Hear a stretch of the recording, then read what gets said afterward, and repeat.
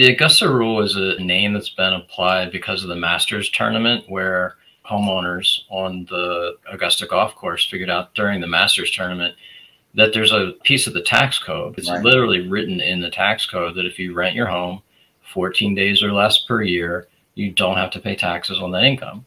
So lots of smart, wealthy people living on Augusta figured out they could rent their house during the tournament as long as it's 14 days or less. The way we use it with a lot of our clients is you obviously can't rent your house to yourself. But if you have a business that's separate, you have an S Corp or C Corp, you can rent your house to your business for 14 days or less per year and not have to pay taxes on that income, yet it's a deduction in the business.